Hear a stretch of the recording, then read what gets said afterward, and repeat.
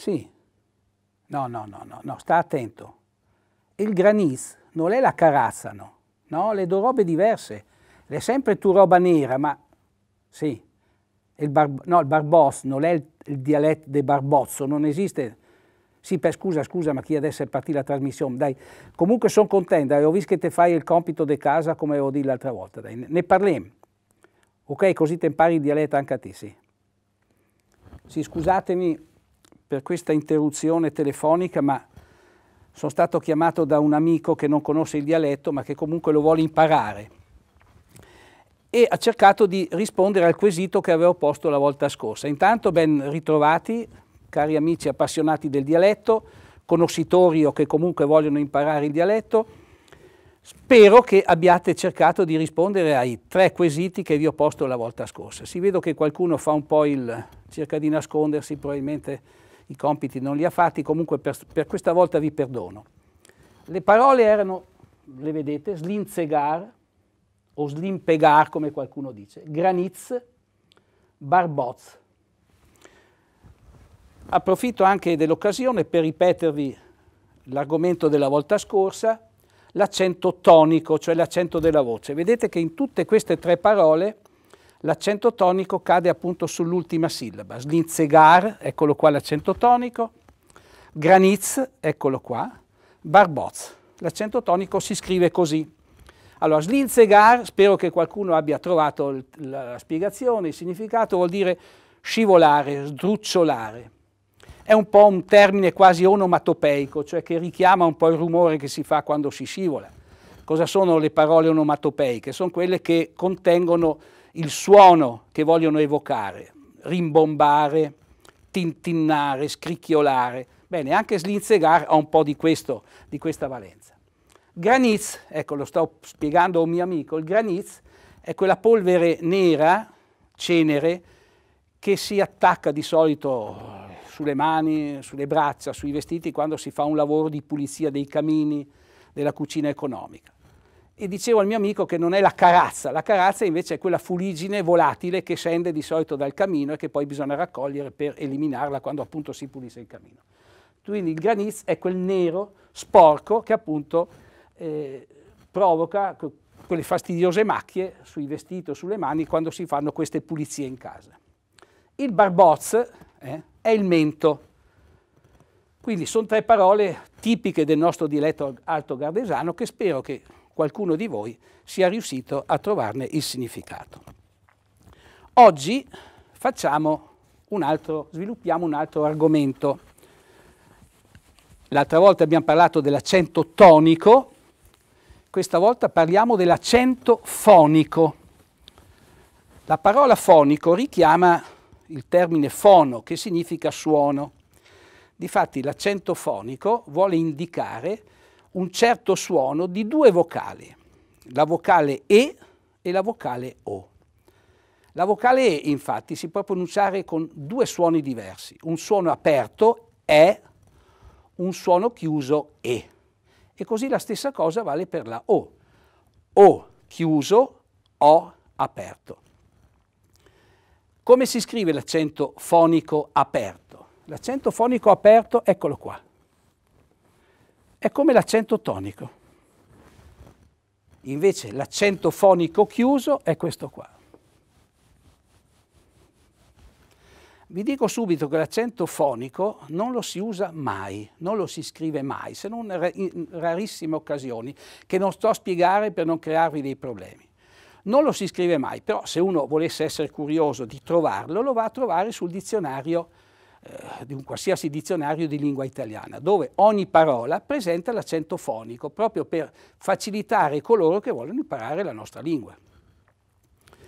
Vi faccio però un esempio curioso, per dire che l'accento fonico eh, purtroppo è condizionato dalle singole parlate locali. E mi spiego.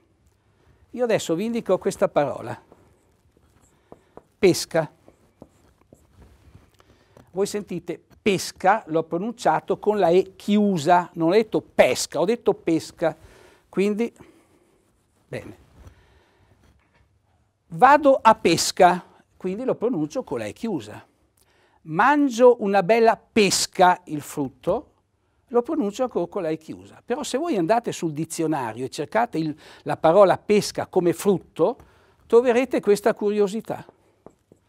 Pesca non è più scritto con l'accento fonico chiuso, ma con l'accento fonico aperto. Per cui noi dovremmo dire io ho mangiato una buona pesca. E voi capite che è una cosa impossibile per noi trentini dire pesca, però se voi andate in qualche parte dell'Italia troverete in qualche regione che giustamente eh, pronunciano pesca, per dire che l'accento fonico è condizionato dalla parlata locale. Questo per dire quindi che l'accento fonico sono questi, aperto, chiuso, che l'accento fonico non lo si scrive quasi mai e che è condizionato fortemente dalla parlata locale, per cui spesso noi pronunciamo certe parole con la E o con la O chiusa magari andrebbero pronunciate con la E e con la O aperta. Bene, questo naturalmente sempre per la lingua italiana. Adesso andiamo a vedere cosa succede con l'accento fonico nel dialetto. Allora incominciamo a prendere questa parola. La scrivo doppia. Ecco, io questa parola la posso pronunciare in due modi diversi. Accento fonico chiuso e quindi diventa stele e sono le stelle del firmamento. Accento tonico aperto, eh, sentite? Stele e le stele sono i ciocchi di legna, quelle che usiamo appunto da mettere nel caminetto, nella cucina economica, nel, nel fornello a legna. Quindi in questo caso vedete l'importanza, in questo caso, dell'indicare l'accento fonico, proprio per distinguere le due parole, stele, le stelle, stele, i ciocchi di legna. Vi faccio un altro esempio. E qui si vede la differenza fra la lingua italiana e il dialetto. Se io vi indico questa parola, sposa, sposa, voi sentite che la sto pronunciando con la O aperta. Però nel momento in cui passa questa parola al dialetto, non dico più sposa, dico la me sposa. Ecco che in questo caso la parola sposa in italiano o aperta diventa sposa con la O chiusa e quindi l'accento fonico chiuso. Un altro esempio, il numero cardinale 3. 3 chiaramente si pronuncia con la E aperta, non ho detto 3, 3, quindi aperto. In dialetto, non so, ieri ho visto tre me amici, tre. In dialetto il 3 diventa 3 con l'accento tonico, vedete, concetto fonico, scusate, chiuso. Vado ancora avanti. Due, per esempio, in dialetto diventa do. Voi capite che è fondamentale scrivere in questo caso l'accento tonico chiuso proprio per distinguerlo dal verbo dare, io do, che vuole la, la O aperta. Quindi in dialetto il do andrà sempre accentato con l'accento fonico chiuso, proprio per distinguerlo dalla prima persona eh, singolare, eccetera, eccetera, del presente indicativo del verbo dare. Detto questo, io eh, seguo sempre una mia regola ed è quella che propongo anche per queste lezioni quando incontreremo questi poeti, questi attori delle compagnie filodrammatiche, eccetera. Io insisterò, quando troveremo degli scritti in sovraimpressione sullo schermo, voi troverete qualche accento in più di quello che dovrebbe esserci. Cioè io tendo in queste lezioni a fare qualche accento in più piuttosto che farne uno in meno, quindi troveremo più accenti tonici, più accenti fonici, proprio per far sì che coloro che ci guardano siano in grado di pronunciare correttamente certe parole, che altrimenti sono facilmente così, eh, pronunciabili in modo scorretto perché vanno confuse queste parole con altre parole. Bene, detto questo mi pare di aver già concluso la lezione di oggi, quindi oggi abbiamo parlato dell'accento fonico, aperto e chiuso, Vi ho detto che l'accento fonico non lo si scrive mai, vi ho detto che l'accento fonico spesso è condizionato, anzi quasi sempre a delle parlate locali. Adesso vi do il solito compitino.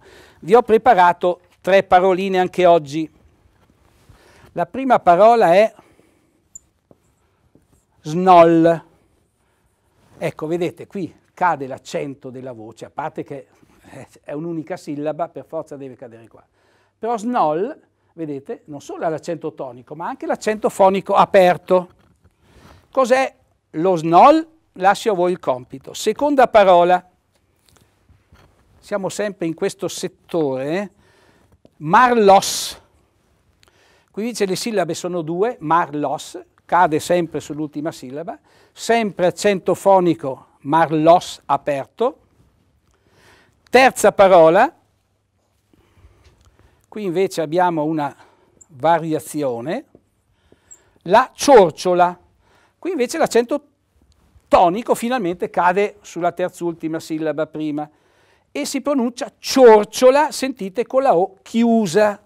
Allora in questo caso metto questo accento che mi fa non solo da accento tonico, ma anche da accento fonico chiuso. Quindi ciorciola, quindi snoll, marlos, ciorciola. Il compitino di casa è questo qua, cercate di trovare il significato. Spero che questa volta tutti facciano i compiti perché qualcuno ho visto che non me li ha fatti. Quindi un caro saluto e ricordatevi che per imparare il dialetto c'è sempre tempo, quindi non è mai troppo tardi per imparare il dialetto. Arrivederci e grazie per l'ascolto.